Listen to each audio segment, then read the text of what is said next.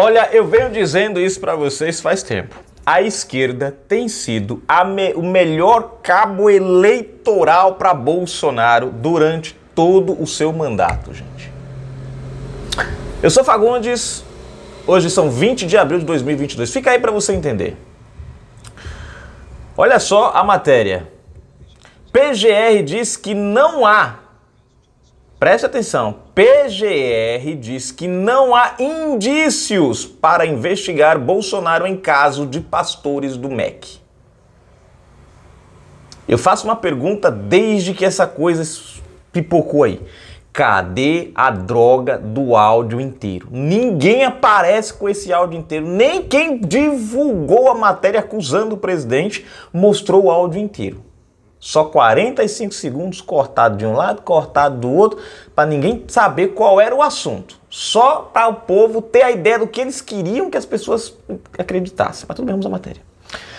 Se você não é inscrito, se inscreve, ative o sininho das notificações, marque a opção receber todos os nossos vídeos. Se você não está recebendo as nossas notificações, confere a inscrição e confere a configuração do, do, da, das notificações aí para ver se está marcado todos, tá bom? Vamos lá, gente. Live política todos os sábados às 21 horas. Vem para cá porque aqui o seu comentário ganha voz. Todos os comentários. Não se esquece também de se uh, gosta do nosso canal, se você curte nosso trabalho, seja um apoiador e um colaborador. Na descrição tem chave Pix, tem conta bancária e tem o nome da galera que colabora com a gente. Então pode estar tá lá também.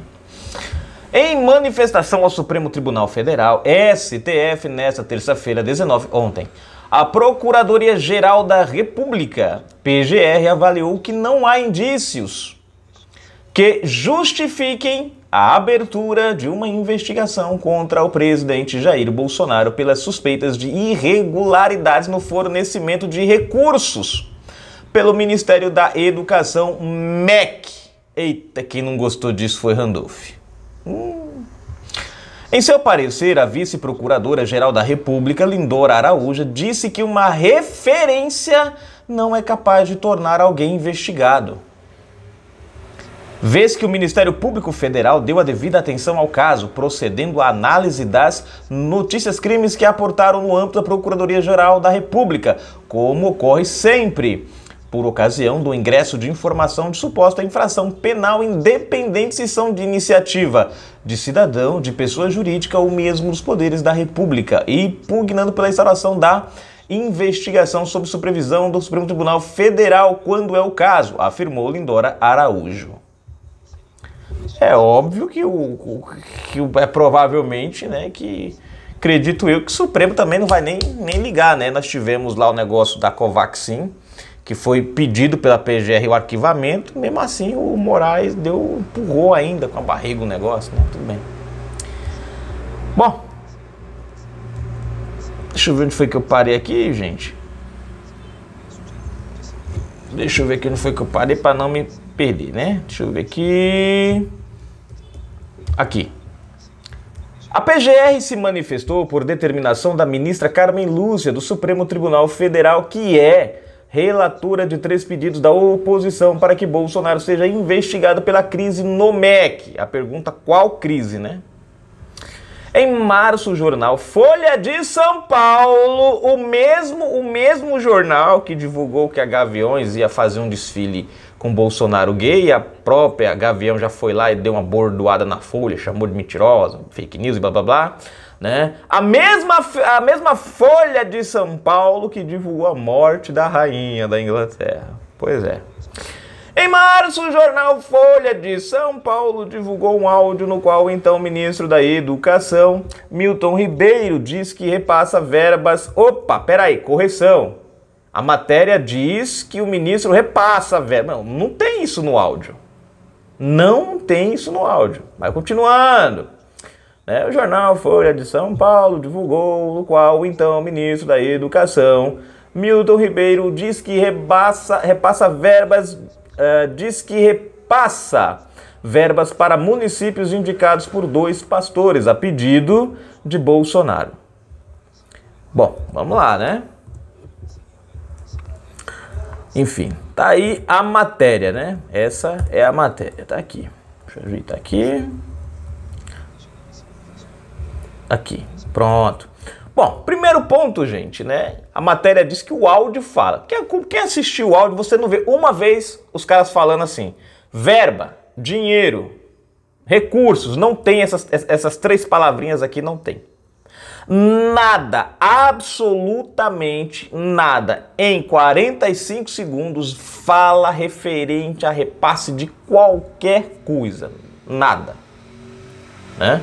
A única coisa que se tem lá é o ministro dizendo que o presidente pediu para ele atender em primeiro lugar os municípios mais carentes, mais necessitados, e depois desce, né, uma devida atenção aos amigos lá, ele falando do pastor lá e tal, tal, tal.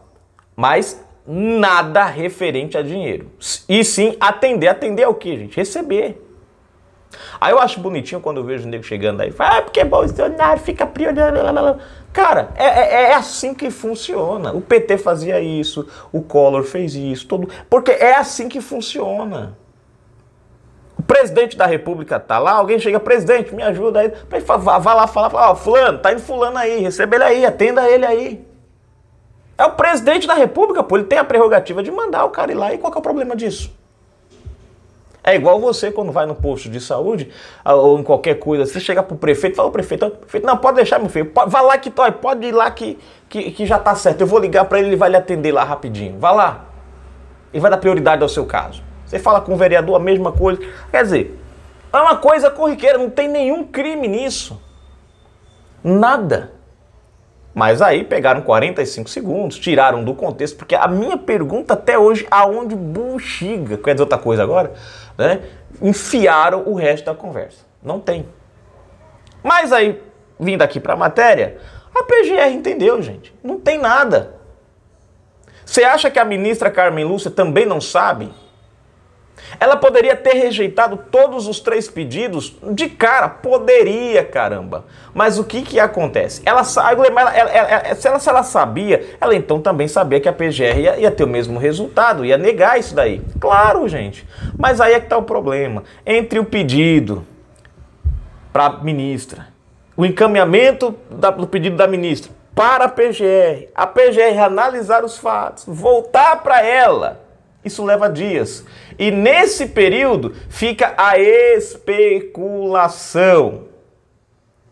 Eles não precisam, gente, que seja verdade. Eles só precisam criar um ambiente de dúvida. Então, a ministra, o papel da ministra é esse: é aceitar o inaceitável, fazer o que não devia andar, andar, criar um buruçu, uma cortina de fumaça e depois, por não poder levar adiante, protelaram, quer dizer, e depois por não poder condenar Bolsonaro pelo tal crime que eles apontam, protelar o máximo possível o inquérito aberto para depois fechar quando não tiver mais o que espremer. Enquanto isso, fica as especulações, as narrativas, as matérias, os textos, as fake news, a desinformação, e o povo fica aí. Porque a ideia deles, gente, não é encontrar um crime em Bolsonaro, é fazer as pessoas acreditarem que existe ou trazerem a dúvida de que existe um crime em Bolsonaro. Que crime eles não encontram. Eles não encontram, então eles sabem que não adianta. Sabe? Então eles têm que usar o, o que eles têm na mão.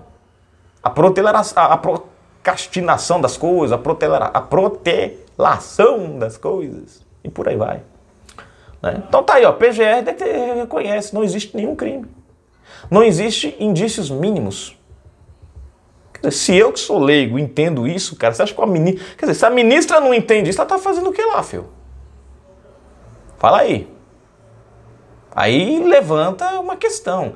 Por que, que uma ministra que está no mais alto cargo passa um, uma denúncia adiante, sabendo que aquela denúncia não tem a menor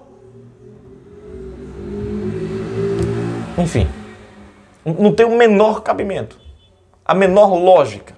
Mas por que, que ela passa? Alguma coisa por trás tem, gente. Alguma coisa por trás tem, cara. Só não enxerga quem não quer. Na descrição, chave Pix, conta bancária. Seja um patrocinador do nosso canal. Ajude o nosso trabalho. Dá aquela força porque a gente precisa muito da sua colaboração. Nossas lives, todos os sábados, às 21 horas, aqui você sabe, o seu comentário ganha voz, aqui o seu comentário tem prioridade. Todos são lidos e respondidos. Um abraço, gente. E fica a pergunta: por que, que ministros do STF encaminham a PGR ações que qualquer pessoa leiga sabe que não tem o menor cabimento? Raciocina isso aí.